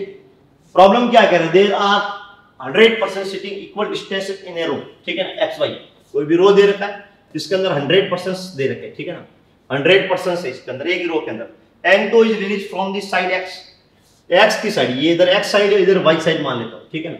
और यहाँ से हमने क्या किया? एन टू को रिलीज़ किया, ठीक है भाई? चलो आगे देखते and tear gas release from the side X and tear gas अच्छा N2O का मोलिकुलर फॉर्मूला आप कैलकुलेट कर लोगे मोलिकुलर वेट क्या होगा? आपके पास 14 टू जा कितना होगा? 28 28 मतलब 44 आ जाएगा इसका मोलिकुलर वेट ठीक है? आ, उसके बाद में क्या बात कर रहा है टीयर गैस के बारे में? इधर से आपने क्या डाल दिया? टीयर गैस डाल। अब टीयर गैस डालोगे टीयर गैस का मोलिकुलर वेट कितना दे रखा? 160 दे रखा है। 176 दे रखा है ठीक है? Same moment and same pressure pressure same दे रखा दोनों। The person who will have tendency to laugh and weep simultaneously आपको क्या पूछा गया है? कि जो पर्सन जो है, वो रो भी रहा है और हंस भी रहा है वो किस जगह पे? ऐसा होगा, कौन सा पर्सन ऐसा होगा, ठीक है ना? वो बताना है। तो ज़ाहिर सी बात है, जहाँ पे N2O और साथ ही साथ आपके पास टीयर गैस मिलेगी, वो वाला पर्सन क्या होगा? रोएगा भी और हंसेगा भी, ठीक है ना? तो यहाँ से हम, ऐसे मान लेते इस साइड से हमने एक्स डिस्टेंस कवर करा दी, ठीक है ना? तो ये वाली ज़ाहिर सी बात क्या टोटल पर्सन कितने? हंड्रेड तो इसको मैं मान लेता हूँ हंड्रेड माइनस एक्स मान लेता क्या मान लेता थोड़ा? हंड्रेड माइनस एक्स ठीक, चलो, देख। अब जरा ध्यान दीजिए, यहाँ पे आपके पास क्या है x और यहाँ से आपके पास क्या आगे बढ़ा हंड्रेड माइनस एक्स आगे। ठीक है, चलो। अब रेट ऑफ़ डिफ्यूजन जो होती है, वो P A by root T M के बराबर होती है। ठीक है? ना अब यहाँ पे टेम्परेचर सेम मानना है प्रेशर सेम मानना है एरिया सेम मानना है मोलिकुलर वेट डिफरेंट मानना है। और रेट को हम क्या लिख सकते हैं? डिस्टेंस अपॉन टाइम के बराबर मानना है। और ज़ाहिर सी बात है, दोनों गैसें एक साथ मिलेगी तो टाइम भी हमको यहाँ पे क्या मानना है सेम मानना है। तो यहाँ से मैं ऐसे कर सकता हूँ कि R1 डिवाइड बाय R2 जो होगा root M two divide by M one के बराबर लिखा जा सकता, ठीक है? अच्छा आर वन को हम क्या लिख सकते हैं? डिस्टेंस अपॉन टाइम लिख सकते हैं। और डिस्टेंस को हम यहाँ पे क्या मान हैं? एक्स और यहाँ से टाइम तो बराबर होगा टाइम टाइम आपस में क्या हो जाएगा? कैंसिल आउट हो जाएगा। अपॉन में क्या आएगा? हंड्रेड माइनस एक्स आ जाएगा, बराबर। यहाँ से आपके पास क्या आएगा? एम टू एम टू अपने पास कितना दे रखा वन सेवन सिक्स वैल्यू दे रखी है। और एम वन की वैल्यू कितनी आपके पास? फोर्टी फोर इससे आप वैल्यू को कैलकुलेट करोगे तो एक्स की वैल्यू निकालोगे। और एक्स की वैल्यू निकालोगे तो फिर बाद में आपको क्या करना है? हंड्रेड में से माइनस करना है। लेकिन आपको ध्यान रखना है हंड्रेड में से माइनस करोगे तो साथ में जोड़ना पड़ेगा ही। क्यों? क्योंकि वो बैक साइड से आ रहा है। तो इसलिए आपके पास कौन सा होगा? एक्स की वैल्यू निकालोगे तो 67 फ्रॉम दी एक्स साइड और वाई साइड से आपके पास कौन सा थर्टी फोर्थ साइड हो जाएगा। ठीक है भाई? चलो नेक्स्ट देखिए। आगे देखिए। आपके पास क्या कह रहा है कि गैस डिस्क्राइब वंडरवाल इक्वेशन आपको बताना है कि वंडरवाल इक्वेशन द्वारा कोई भी गैस डिस्क्राइब कर रखी, ठीक है ना? पहला ऑप्शन क्या कह रहा है? Behave similar to an ideal gas in the limit of large volume, ठीक है ना? Large molar volume molar volume large हो गया तो इसका मतलब प्रेशर बहुत कम हो गया। और प्रेशर कम होता है तो इसका मतलब आइडियल गैस की तरह बिहेव कर सकते तो बात फ़र्स्ट एकदम सही हो जाएगी, ठीक है सेकंड देखिए behave similar to an ideal gas in the limit of large pressure ठीक है, कोई दिक्कत वाली बात नहीं कि लार्ज अगर प्रेशर लेते हो तो आइडियल गैस की तरह आपके पास क्या कर सकती है? आपके पास behave similar to large pressure ये स्टेटमेंट गलत हो। अगर प्रेशर वेरी लो होता, उस कंडीशन में आइडियल गैस की तरफ़ बिहेव करती थी, ये स्टेटमेंट गलत हो जाए। ठीक है थर्ड क्या कह रहा है? इस कैरेक्टराइज्ड बाय वंडरवाल कोएफिशिएंट ठीक है? रियल गैसेस को वंडरवाल कोएफिशिएंट के साथ में लेते ही। They are dependent of identity of gas but are independent of temperature ये आप तो कह रहे हैं ए एंड बी के बारे में। तो ए एंड बी की वैल्यू जो है वो गैस के नेचर के ऊपर डिपेंड करती है कांस्टेंट है। लेकिन टेंपरेचर ऊपर डिपेंड नहीं करती। ठीक है? तो थर्ड स्टेटमेंट सही हो जाएगा। फोर्थ देखिए, has the pressure that is lower than the pressure exerted by same gas behaving ठीक है? आइडियली में प्रेशर क्या होता है? थोड़ा ज़्यादा लगता है, इसमें थोड़ा सा कम लगे तो ये बात क्या है? सही। ठीक है बेटा? चलो नेक्स्ट चलते आगे which of the following method which will form C S three C S two आपके पास क्या करना है कि ये वाला जो दे रखा है ना, कौन से प्रोसेस के अंदर मेजर प्रोडक्ट की फॉर्म है आपके पास बनता है, ठीक है? तो देखिए, सबसे पहले अगर मैं बात करूँ C H two C H two यहाँ पे आपके पास ओ OH दे रखा है, यहाँ पे सी एल दे रखा फ़र्स्ट के अंदर। O OH minus H plus को लेगा ये यहाँ पे अटैक करेगा न्यूक्लियोफाइल की तरफ़ करेगा, यहाँ पे अटैक करके इसको डिस्प्लेस कर लेगा। मतलब मतलब की बात क्या है, यहाँ पे ये बन जाए, ठीक है? फिर बाद में आपके पास क्या कह रहा है? आपके पास आगे। ये वाला कह रहा है कि यहाँ पे आपके सी एल और सी एच डबल बॉन्ड क्या है? सी एच टू ठीक है ना? दो कंपाउंड दे रखा आपका सी एल और यहाँ पे। C H two C H two दे रखा ठीक है ना? तो अब देखो, पहले तो आपने इपॉक्साइड बना दिया। ठीक है, कोई दिक्कत नहीं इपॉक्साइड बना सकते थे। लेकिन बात ये है कि इसके अंदर आगे ये वाला दे रखा है। अब ये वाला दे रखा है तो हम क्या करेंगे? पहले एच प्लस को लेंगे। एक बार हमने H प्लस को ले लिया। ठीक है ना? तो H प्लस को ले लिया तो यहाँ पे C H two C H two और यहाँ पे आपके पास क्या आएगा? ओ माइनस आ जाएगा। ओ माइनस आएगा। अब यहाँ पे तो आपके पास क्या है डबल बॉन्ड कैरेक्टर और डबल बॉन्ड कैरेक्टर तो यहाँ पे न्यूक्लियोफिलिक रिएक्शन होगी क्या? यहाँ पे न्यूक्लियोफिलिक रिएक्शन नहीं होगी। तो यहाँ पे तो आपके पास प्रोडक्ट नहीं बनेगा। फ़र्स्ट के अंदर आपके पास नहीं बन जाएगा, ठीक है? चलो, आगे क्या कह रहा है? सेकेंड वाला देखो। सेकेंड वाला बी आर टू है। तो बी आर टू के साथ रिएक्शन करोगे तो क्या होगा? इलेक्ट्रोफिलिक एडिशन रिएक्शन हो जाएगी पहले तो ठीक है ना? फिर बाद में किसके साथ रिएक्शन करेगी बताइए? C S three C H two C H two O H के साथ रिएक्शन करेगी तो ज़्यादा ज़्यादा क्या करेगी? न्यूक्लियोफाइल की तरफ़ बिहेव करेगी, इसको अटैक करके इसको क्या करेगा? डिस्प्लेस किया। लेकिन यहाँ पे अभी भी फ़िलहाल कितने मोल दे रखे हैं, ये स्पेसिफाई नहीं है, ठीक है ना? तो यहाँ पे B R C H two यहाँ पे सी एच टू यहाँ पे आपके पास क्या आएगा? ओ यहाँ पे C H two C H two आपके पास क्या आएगा? सी एच थ्री आएगा, ठीक है इसके बाद में क्या दे रखा है? एल्कोहलिक क्योच दे रखा है। एल्कोहलिक क्योच दे रखा तो एलिमिनेशन रिएक्शन होगी। एलिमिनेशन रिएक्शन के दौरान C H two C H तो यहाँ पे ओ सी एच टू और यहाँ पे आपके पास क्या आएगा? सी एच टू और यहाँ पे आपके पास क्या आएगा? सी एस थ्री आ जाएगा। ठीक है बेटा? चलो तो इसके अंदर आपके पास प्रोडक्ट कौन सा बनेगा? ये वाला प्रोडक्ट बन जाएगा। ठीक है? चलो, आगे देखिए। यहाँ पे ट्रिपल बॉन्ड है ठीक है ना? यहाँ पे आपके पास क्या कह रहा है? ये इसके साथ रिएक्शन करे ठीक है ना? इसके साथ रिएक्शन कराओगे तो ज़्यादा से ज़्यादा क्या करेगा? एसिडिक हाइड्रोजन ले लेगा। ठीक है ना? तो एसिडिक हाइड्रोजन वैसे आराम से नहीं ले पाएगा यहाँ पे, क्योंकि बाद में आपके पास क्या बन रहा है? एल्कोहल बन रहा है। ठीक है ना? तो ये वाला केस किसी भी हालत में यहाँ पे पॉसिबल हो नहीं पाएगा तो ये भी नहीं हो पाएगा। ठीक है ना? फोर्थ वाला देखिए। फोर्थ वाला अगर आप रिएक्शन कराओगे तो इजीली वैसे प्रोसीड होगी नहीं, ठीक है ना? जैसे ये वाला ले लिया अपन ने, और दूसरा अपन ने यहाँ पे C L C H double bond C H ले लिया। तो यहाँ पे आपके पास क्या है? डबल बॉन्ड करेक्टर आ रहा है डबल बॉन्ड करेक्टर आ रहा है तो इजीली रिएक्शन हो नहीं पाएगी। और इजीली रिएक्शन हो नहीं पाएगी तो इसका मतलब आपके पास मोस्ट प्रॉपर आंसर जो आएगा वो कौन सा आएगा? सेकंड वाला आ जाएगा। ठीक है बेटा? चलो नेक्स्ट देखिए आप। अगला प्रॉब्लम नेक्स्ट प्रॉब्लम आपके पास क्या कह रहे हैं? Which of the following reaction product will react immediately with Lucas reagent ठीक है ना? तो देखो बेटा लुकाज रिएजेंट के साथ इमीडिएटली रिएक्शन कौन सा करता है? को 3 डिग्री अल्कोहल करता है ठीक है ना? पहला तो ये कह सकते हैं, ठीक है ना? या फिर ऐसा एल्कोहल जिसका कार्बोकटेन जो है, वो थ्री डिग्री कार्बोकटेन से ज़्यादा स्टेबल हो। वापिस मैं अपनी बात को रिपीट कर लेता हूँ कि लुगाज रिएजेंट जो है, किस एल्कोहल के साथ रिएक्शन करता है? तुरंत स्टेंट टर्बिडिटी जो देता है, वो किसके साथ थ्री डिग्री एल्कोहल के साथ देता है? क्योंकि एस रिएक्शन होती है, ठीक है ना? तो एस वन में कार्बोकटेन बनता है तो जो कंपाउंड थ्री डिग्री कार्बोकटेन बढ़ाई या फिर थ्री डिग्री से स्टेबल कार्बोकटेन बनाए, वो वाला आपके पास क्या रहेगा स्टेंट टर्बिडिटी देता वाइट टर्बिडिटी ठीक है ना? अब B2H6 ये दे रखा ठीक है ना? अब इसमें एंटी मार्कोनी का रूल लगता है। एंटी मार्कोनी को रूल के अनुसार यहाँ पे कार्बोकेटन ज़्यादा स्टेबल है। और ज़्यादा स्टेबल है तो एंटी मार्कोनिको के अनुसार आपके पास लेस स्टेबल पे बना, यहाँ पे आपके पास क्या आएगा? OH आ जाएगा, ठीक है?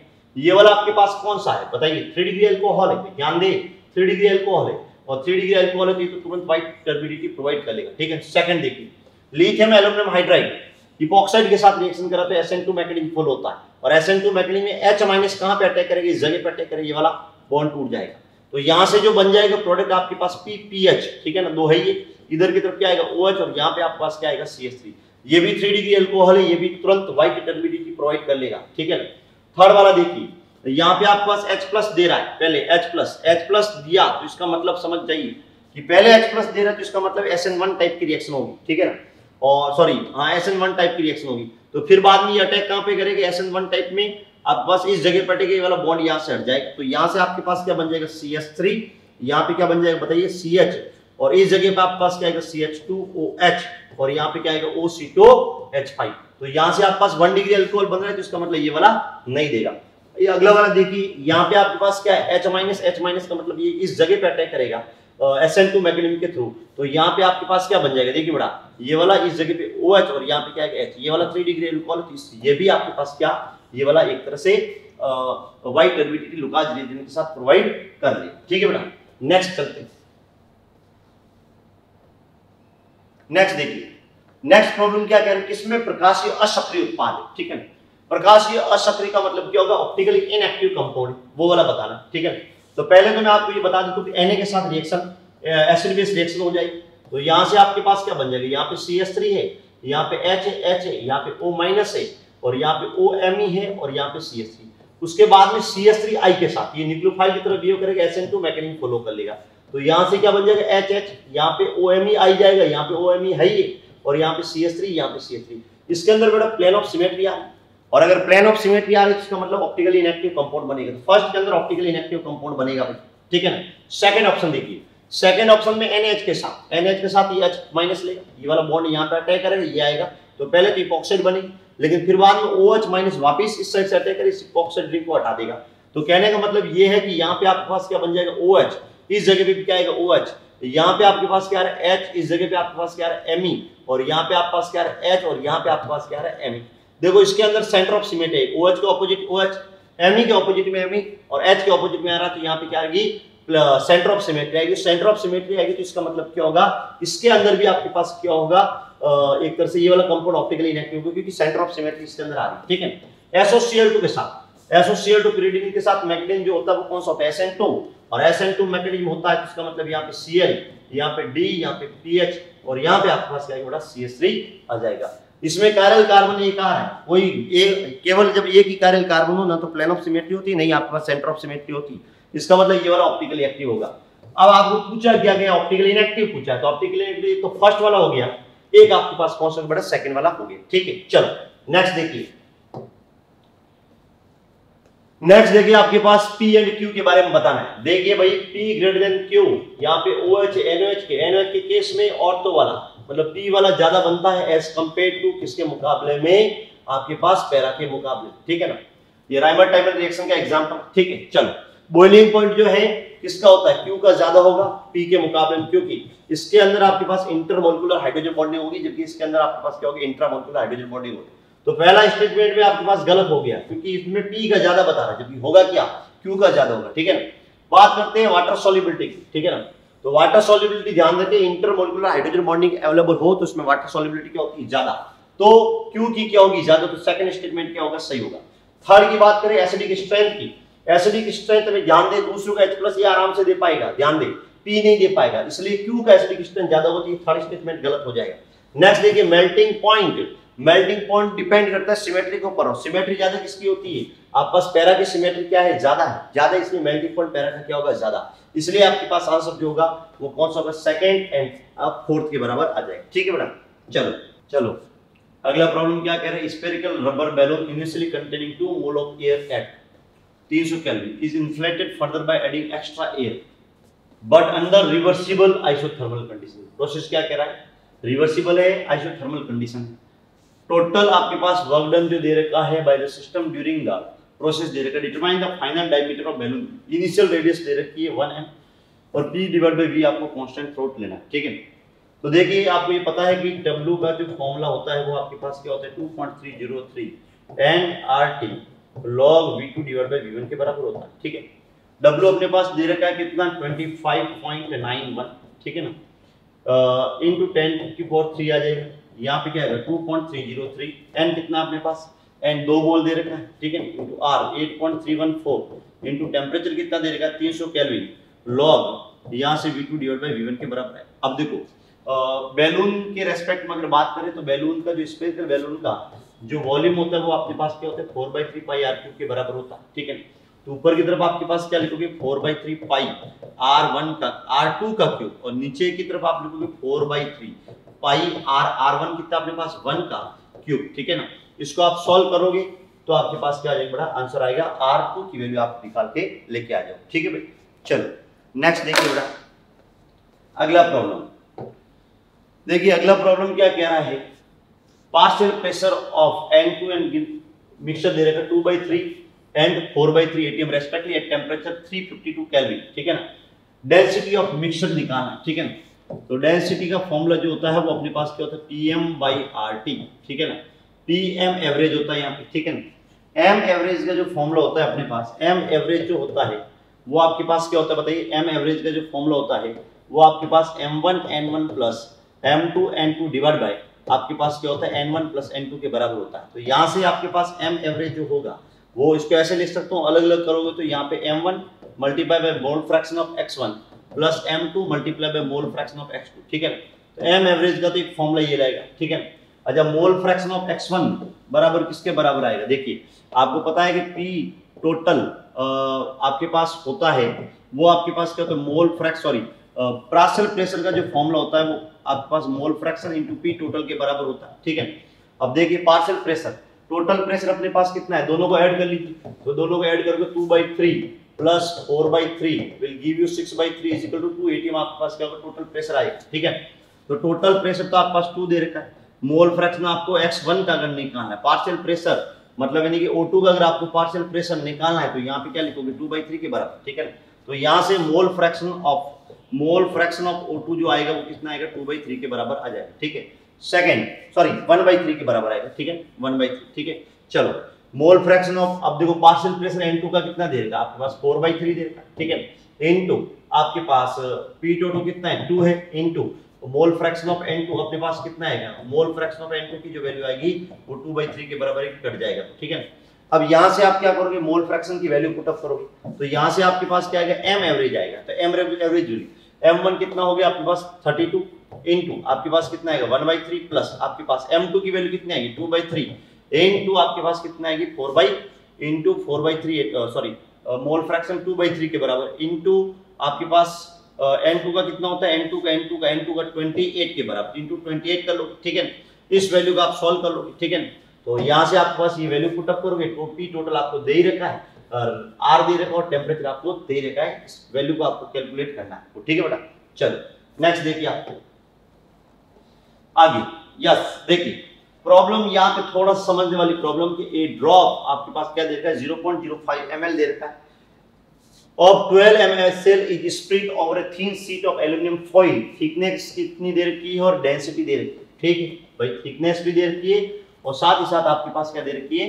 डेंसिटी दे रखी है। Assume wool of the HCl is used to dissolve air ठीक है what will the maximum area of hole produce? आपको एरिया इन आपको किसमें बताना है? सेंटीमीटर स्क्वायर में बताना है। Produce in the foil foil के अंदर आपको बताना बेसिकली एससीएल को यूज़ कर रहे हैं एल एससीएल एक तरह से एल के ऊपर डाल रहे हैं एल को डिजोल्व करने में काम आ रहा है, ठीक है ना? तो आपको ये बताना है कि एल के ऊपर कितना हॉल प्रोड्यूस होगा, कितना एरिया का हॉल प्रोड्यूस होगा, ठीक है ना? वो आपको बताना है, ठीक है ना? तो ज़ाहिर सी बात है, जितना इसके मिली होंगे एचसीएल के, उतने ही आपके पास किस, किसके होंगे बताइए? एल्यूमिनियम के मिली होंगे, क्योंकि एचसीएल डिजोल्व करने में काम आ रहा है। रिएक्शन किसके बीच में होगी? एचसीएल और एल के बीच में होगी, ठीक है तो ध्यान दीजिए बेटा। Milliequivalent of milliequivalent of HCl is equal to आपके पास क्या होगा? मिली इक्विवेलेंट ऑफ़ एल आ जाएगा, ठीक है? तो देखिए, मिली इक्विवेलेंट ऑफ़ एचसीएल कितना आएगा? M into v, m into v, m into v तो 12 into 0.05 ठीक है ना? तो 12 इंटू 12 तो मिली इक्विवेलेंट जो होंगे, मिली इक्विवेलेंट ऑफ़ एल जो होगा, वो किसके बराबर होगा बताइए? 12 12 को इससे मल्टीप्लाई कीजिए तो आपके पास क्या आएगा? यहाँ पे नीचे हंड्रेड आ जाएगा। और 60 डिवाइड बाई एक तरह से सिक्सटी डिवाइड बाई हंड्रेड मतलब ज़ीरो पॉइंट सिक्स के बराबर आएगा, ठीक है? तो यहाँ से मिली इक्विवेलेंट ऑफ़ एल जो आएगा वो कितना आएगा? ज़ीरो पॉइंट सिक्स के बराबर आएगा, ठीक है? अब आपको ये तो पता है कि मिली का फॉर्मूला क्या मिली की फॉर्मूले की हेल्प से हम वेट निकाल सकते हैं, ठीक है ना? तो वेट ऑफ़ एल जो होगा, वो किसके बराबर होगा? ज़ीरो पॉइंट सिक्स टू इसका जो आएगा नाइन डिवाइड बाई क्या आएगा? बताइए थाउज़ेंड के बराबर, ठीक है ना? तो यहाँ से आपके पास क्या होगा? वेट ऑफ़ एल आएगा, ठीक है ना? अब देखिए यहाँ से आपके पास क्या दे रखा है? जरा ध्यान दीजिए कि यहाँ पे आपके पास डेंसिटी दे रखी है। किसकी? एल की, ठीक है ना? आपके पास ये वाला वेट आ गया, ठीक है ना एल का। अब देखिए तो यहाँ पे डेंसिटी जो होती है, वो किसके बराबर होती है? डेंसिटी बराबर क्या होता है? मास बाय वॉल्यूम ठीक है ना? अब डेंसिटी की वैल्यू कितनी दे रखी है? अपने पास 2.7 के बराबर दे रखी ठीक है बेटा? मास जो दे रखा है आपके पास, ये आप निकाल दोगे 0.6 into nine divide by thousand ठीक है ना? अपॉन में वॉल्यूम कितना दे रखे वॉल्यूम वॉल्यूम वॉल्यूम वॉल्यूम आपको निकाल, ठीक है ना? तो यहाँ से आपके पास क्या आ जाएगा? वॉल्यूम आ जाएगा, बेटा एमएल में आएगा। यहाँ पे जो वॉल्यूम आएगा, जो भी निकालोगे वो आपके पास किसमें आएगा? एमएल के अंदर आएगा। अब वॉल्यूम आ जाने के बाद, अब देखो वॉल्यूम जो होता है, वो थिकनेस इंटू आपके पास क्या होता है? एरिया होता है, ठीक है ना?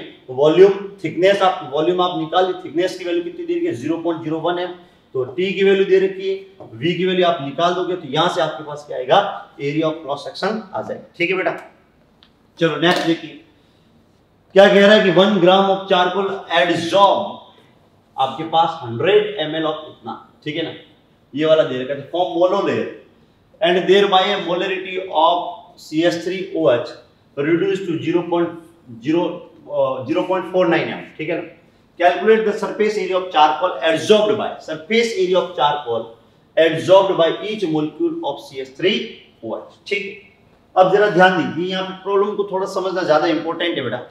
देखिए, यहाँ पे आपके पास क्या दे रखा है? एक तरह से अंदर चारकोल दे रखा है, ठीक है? अब ये वाला चारकोल क्या करता है? एसिडिक एसिड को अपनी सरफेस के क्या करता है? एड्जॉर्ब करता है। मैं वापिस बात को रिपीट कर लेता हूँ। ये चारकोल क्या करता है? एसिडिक एसिड को अपनी सरफेस पे क्या करता है? एड्जॉर्ब करता है, ठीक है? तो सबसे पहले स्टार्टिंग के मोल निकाले तो सी एस थ्री हो चुके, ठीक है ना? तो ध्यान दीजिए मोल ऑफ़ स्टार अच्छा मोल स्टार्टिंग के कितने दे रखे आपके पास? एम इंटू वी ठीक है ना? M one into V one ठीक है ना? और बाद में इसकी मोलरिटी जो रह जाती है, वो आपके पास कितनी रहती है? ज़ीरो पॉइंट फोर नाइन के बराबर रह जाती है, ठीक है ना? तो बाद में मोल बाद में मोल जो बचेंगे M two into V two बचेंगे मोल ठीक है ना? इसके अंदर बचेंगे तो एडजॉर्ब किसके, कितने हो जाएँगे इसके ऊपर? तो ज़ाहिर सी बात है स्टार्ट में से M one minus V one M one V one minus M two V two करोगे तो ये वाले जो मोल है, वो किसके ऊपर एडजॉर्ब हो जाएँगे? चार कॉल पे एडजॉर्ब हो जाएँगे। वापस मेरी बात को रिपीट कर लेता हूँ। स्टार्ट में जो सॉल्यूशन दे रखा है, इसका आपको क्या दे रखा है? वॉल्यूम दे रखा है और मोलिटी दे रखी है तो आप यहाँ से क्या निकाल दो इसके मोल निकाल दोगे तो इसके मोल आ गए।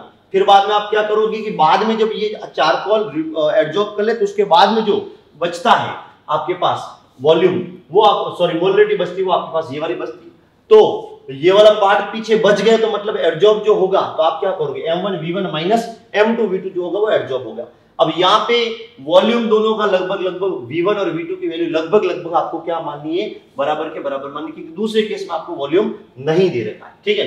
तो यहाँ से आपके पास ऐसे कह सकते हैं mole moles of acetic acid adsorb ठीक है ना?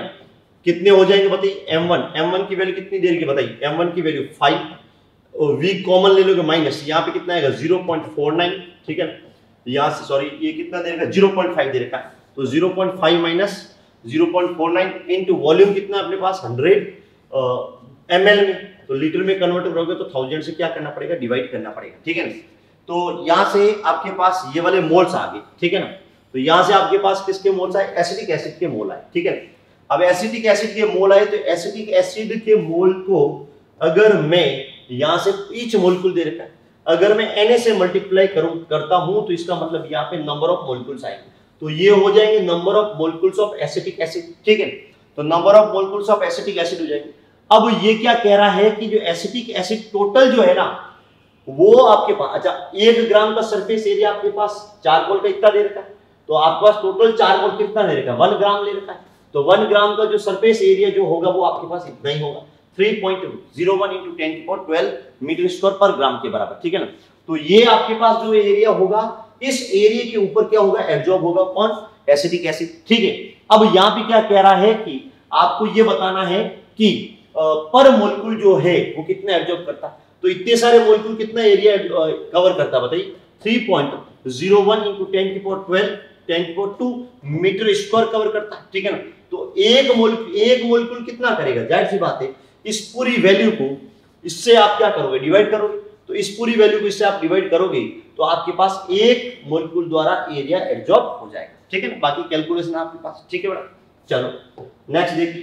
देखो बड़ा S N N G P के अंदर, यहाँ के अंदर आपको ये ध्यान रखना है कि गामा पोर्शन पे आपके पास डबल बॉन्ड होना चाहिए लिविंग ग्रुप के, और साथ ही साथ आपके पास बीटा पोर्शन पे लॉन्ग ऑफ़ इलेक्ट्रॉन मौजूद होना चाहिए। ठीक है तो देखो, ये वाला एनजीपी में पार्टिसिपेट नहीं करेगा। ठीक है यहाँ पे अल्फ़ा बीटा गामा पोजिशन पे डबल बॉन्ड आ रहा है तो ये वाला एनजीपी में पार्टिसिपेट करेगा। यहाँ पे बीटा पोजिशन के आगे लॉन्ग तरफ़ इलेक्ट्रॉन आ रहा है तो ये भी एनजीपी में पार्टिसिपेट करेगा। यहाँ पे गामा पोजिशन पे डबल बॉन्ड आ रहा है तो ये भी एनजीपी में पार्टिसिपेट करेगा। ये वाला भी कर लेगा ठीक है ना? और यहाँ पे आपके पास क्या है? C double bond O H आ रहा है तो यहाँ पे देखो अल्फ़ा बीटा बीटा पोजिशन पे आगे लॉन्ग तरफ़ इलेक्ट्रॉन आ रहा है तो ये भी एनजीपी में पार्टिसिपेट करेगा। ये वाला कर लेगा अल्फ़ा बीटा गामा पोजिशन पे डबल बॉन्ड आ रहा है, ये भी कर लेगा, ठीक है ना? ये वाला नहीं करेगा भाई, ठीक है ना? ये नहीं करेगा, ठीक है? ये भी नहीं करेगा। लेकिन यहाँ पे आपके पास देखो, ये जो बैक साइड में जो है ना सिग्मा एनजीपी हो जाएगी। इसके अंदर आपके पास क्या हो जाएगी? सिग्मा एनजीपी हो जाएगी, ठीक है ना? इसलिए आपके पास आंसर कौन सा one two three and four five and six and seven तो इसका आंसर कौन सा बड़ा सेवन वाला आ जाएगा, ठीक है? थैंक यू चलो, इसमें क्या कह रहे हैं कि निम्न से कौन से ऑक्सीकर आपको how many following compounds can liberate CO2 on oxidative ozonolysis followed by बाद में ऑक्सीडेटिव ओजोलाइसिस कराने के बाद में आपको क्या करना है? एक तरह से हीटअप करना है, ठीक है? अब देखिए, अगर मैं इसका ओजोलाइसिस ए वाले ऑप्शन को देखो, पहले ए वाले को देखते हैं, इसका अगर मैं ओजोलाइसिस करूँ तो यहाँ पे क्या होगा? डबल बॉन्ड हो। इस जगह पे भी आपके पास क्या आएगा? डबल बॉन्ड ओ यहाँ पे आपके पास क्या आएगा? टूट जाएगा। और जहाँ पे एल्डिहाइड बनेगा तो एल्डिहाइड के केस में ऑक्सीडेटिव में आपको क्या करना है? कार्बोक्सिलिक एसिड में कन्वर्ट करना है। वापस मैं अपनी बात को रिपीट कर लेता हूँ कि यहाँ पे एल्डिहाइड के केस में आपके पास क्या करना है? कार्बोक्सिलिक एसिड का केस आ जाता है। तो एल्डिहाइड के केस में आपको ऑक्सीडाइज करके कार्बोक्सिलिक एसिड में कन्वर्ट करना है। इस बाजू भी आपके पास क्या आएगा? CH3OH बन जाए। ठीक है? अच्छा एक चीज़ ध्यान रखिए। अगर आपके पास, ध्यान सुनना भाई कार्बोक्सिलिक एसिड के बीटा पोजीशन पे कार्बोक्सिलिक एसिड के बीटा पोजीशन पे सी डबल बॉन्ड ओ आ जाता है। उस कंडीशन में अगर आप हीटअप करो तो यहाँ से सीओ टू लिबरेट आउट हो जाता है। ठीक है? तो यहाँ पे अगर थोड़ा सा ध्यान से देखोगे तो यहाँ पे बीटा पोजीशन पे नहीं आ रहा है। ये आपके पास अल्फ़ा पोजिशन पे ही आपके पास क्या आ रहा है? सी डबल बॉन्ड आ रहा है, जिसके केस में CO2 गैस लिबरेट आउट नहीं होगी तो फ़र्स्ट ऑप्शन नहीं हो सकता। सेकंड का देखिए। सेकंड के अंदर अगर आप करते हो ओजोनलाइसिस तो इसके अंदर आपके पास क्या मिलता है? डबल बॉन्ड हो, ठीक है ना? और यहाँ पे क्या मिलेगा? आपको सीओएच मिल जाएगा इस जगह पे, क्योंकि यहाँ पे एल्डिहाइड बनेगा। तो एल्डिहाइड सीओएच होगा। अब देखो, अल्फ़ा और बीटा पोजीशन पे ये डबल बॉन्ड बी आ रहा है। सी डबल बॉन्ड ओ आ रहा है। तो इसके केस में डी कार्बोक्सिलिस में हो जाएगा और डी कार्बोक्सिलिस हो जाएगा मतलब एक तरह से आपके पास यहाँ से सी डबल बॉन्ड और यहाँ से CO2 गैस निकल जाएगी। तो बी के केस में आपके पास क्या निकल जाएगी? CO2 गैस निकल जाए ठीक है? तो बी के केस में निकल जाए सी का केस देखते हैं। इसके अंदर मैं ओजोलाइसिस कराता हूँ, ठीक है ना? तो यहाँ पे जरा ध्यान दे ओजोलाइसिस के दौरान सी डबल बॉन्ड ओ, यहाँ पे आपके पास क्या आएगा? सीओएच आएगा, ठीक है ना? तो सी डबल बॉन्ड ओ, यहाँ पे है यहाँ पे सीओएच आए ठीक है? तो यहाँ पे भी बीटा पोर्शन पे आपके पास क्या नहीं आ रहा है? सी डबल बॉन्ड ओ नहीं आ रहा इसके केस में भी नहीं होगा नेक्स्ट देख, इसको देखते यहाँ पे डबल बॉन्ड ओ यहाँ पे। तो यहाँ से आपके पास क्या आएगा? डबल बॉन्ड ओ और इस जगह पे आपके पास क्या आएगा? सीओएच बीटा पोर्शन पे सी डबल बॉन्ड ओ आ है, जिसका अंदर आपके पास CO2 गैस लिबरेट आउट हो जाएगा। इसके अंदर आपके पास ऐसा हो ही नहीं पाएगा, इसलिए आंसर केवल और केवल बी एंड आपके पास कौन सा आएगा? डी वाला आ जाए ठीक है बेटा? चलो। नेक्स्ट देखिए आप। अगला प्रॉब्लम रेशियो दे देगा वी आर एम एस की वैल्यू का रेशियो निकालना तो ध्यान दे बड़ा वी आर एम एस का जो फॉर्मूला होता है, वो क्या होता है? Three R T divide by pi M के बराबर होता है। Sorry three bar R T divide by M के बराबर। ठीक है, चलो। हम यहाँ पे V one divide by V two ऐसे लिख सकते हैं रूट यहाँ से क्या आएगा? M two divide by M one multiply by यहाँ पे T one divide by T two के बराबर लिखा जा सकता है। ठीक है ना? आपको रेशियो निकालना है। ठीक है ना? तो V one divide by V two is equal to M two की वैल्यू देखो। M two M two M two M two अपने पास क्या ले रखा है? देखिए एम टू ओ टू ले रखा है। तो ओ टू ले रखा तो यहाँ पे क्या आएगा? Thirty two upon M one की वैल्यू क्या है? हाइड्रोजन हाइड्रोजन कितना होगा? प्लस टू के बराबर multiply by T one temperature यहाँ पे 50 केल्विन दे रखा है। तो यहाँ पे 50 केल्विन आएगा। और T2 पे टेम्परेचर कितना दे रखा है? 800 केल्विन दे रखा है। 800 केल्विन लोगी इसको सॉल्व करोगे तो आपके पास आंसर आ जाएगा। ठीक है बेटा चलो। नेक्स्ट चलते। Yes number of carbon atom in the ring when product आपको अल्डल कंडेंसेशन रिएक्शन करानी इसके अंदर, ठीक है?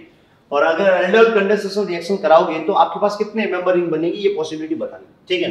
तो सबसे पहले देखो, अगर ये वाला H प्लस यहाँ से लेता है तो ये इस जगह पे अटैक करेगा, ठीक है? तो यहाँ पे one two three four five six seven member ring बन जाएगी, ठीक है?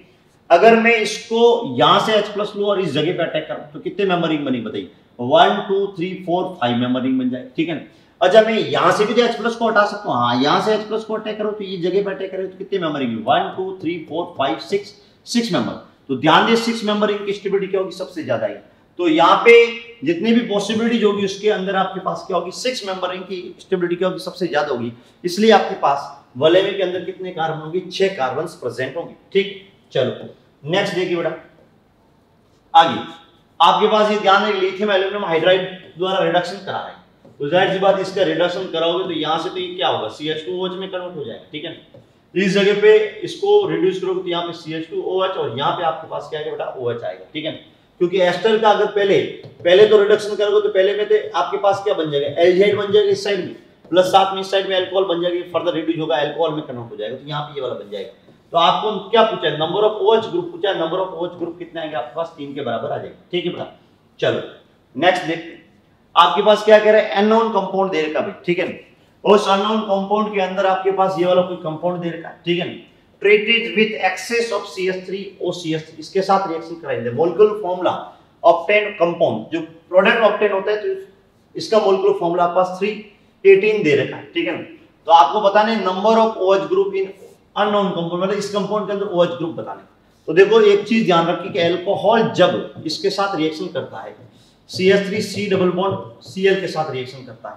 तो अगर एक ओ OH ग्रुप हो तो यहाँ से क्या होगा? ये न्यूक्लियोफिलिक सबस्टिट्यूशन रिएक्शन हो जाएगी। और न्यूक्लियोफिलिक सबस्टिट्यूशन रिएक्शन हो जाएगी तो इसका मतलब यहाँ पे आपके पास क्या? सॉरी इसको वापस बना देता हूँ मैं। यहाँ पे अल्कोहल है, यहाँ पे क्या है? CH3 डबल बॉन्ड OCl ये अल्कोहल एक मोलिक्यूल यहाँ पे अटैक करेगा तो इसको डिस्प्लेस करेगा तो यहाँ से क्या बन जाएगा? ROC double bond O CH3 बन जाएगा। तो देखो, इसके अंदर देखा जाए ना तो इसके अंदर अटैच कौन सा ग्रुप हो रहा है? ये वाला ग्रुप हो रहा है। अब देखो इसका मोलिकुलर वेट निकाल इस ग्रुप का केवल इतने का मोलिकुलर वेट निकालते। हैं तो इतने का मोलिकुलर वेट निकाल तो कार्बन कितना है दो तो ट्वेंटी फोर हो गया सॉरी ट्वेल्व ट्वेल्व कितना होगा? Twenty four twenty four plus three कितना होगा? ट्वेंटी सेवन और ऑक्सीजन कितना है? ट्वेंटी सेवन प्लस ऑक्सीजन कितना है? आपके पास सिक्सटीन तो ऑक्सीजन का सिक्सटीन तो फोर्टी थ्री हो गया।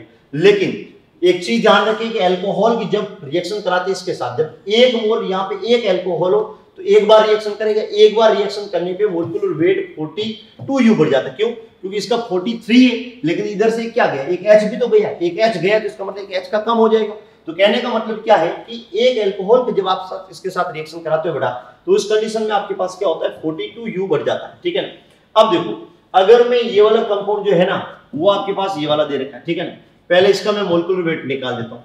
इसका मोलिकुलर वेट कितना होगा? देखो twelve into twelve into five कितना होगा? सिक्सटी हो गया, ये कितना होगा? टेन हो गया, और यहाँ पे आपके पास कितना होगा? Five into sixteen into five कितना होगा? एट्टी तो यहाँ पे ज़ीरो, और यहाँ पे छः, और एक सेवन सेवन वन फिफ्टी हो गया, ठीक है ना? इनका मोलिकुलर वेट वन फिफ्टी हो गया, ठीक है अब वन फिफ्टी से ये किसमें गया, बताइए? वन फिफ्टी से आपके पास थ्री एटीन के अंदर गया, ठीक है ना? तो डिफरेंस कितने का है, बताइए? थ्री एटीन माइनस क्या करोगे? वन फिफ्टी करोगे। तो three eighteen minus one fifty करोगे three eighteen, minus one fifty करोगे कितना आएगा यहाँ पे एट, और यहाँ पे आपके पास कितना होगा? सिक्स एंड यहाँ पे आपके पास क्या आएगा? वन। तो यहाँ पे कितना आएगा? वन सिक्सटी एट आएगा, ठीक है तो कहने का मतलब अगर एक बार जुड़ता है, ठीक है ना? तो फोर्टी टू यू बढ़ता है, लेकिन यहाँ पर कितना वन सिक्सटी एट यू बढ़ रहा है। तो इसका मतलब कितने ओएच ग्रुप थे? तो one sixty eight divide by कितना करोगे? Forty two. तो आपके पास कितना आएँगे? फोर ओएच ग्रुप इसके अंदर मौजूद हो जाएँगे। तो ध्यान दें, इसके अंदर आपके पास फोर ओएच ग्रुप मौजूद हो जाएँगे। और वैसे इसके शॉर्ट ट्रिक भी है अपने पास। क्या है? कि आप क्या करोगे? ये वाला जो मोलिकुलर वेट दे रखा है ना 380 माइनस जो कंपाउंड दे रखा है, इसका मोलिकुलर वेट निकाल दो, ठीक है ना? अपॉन क्या करो? हमेशा 42 से डिवाइड कर लो। जब इसके साथ रिएक्शन कराई जा रही तो आपके पास नंबर ऑफ़ ओएच ग्रुप्स आ जाएँगे, ठीक है बेटा? चलो नेक्स्ट देखिए। Thank you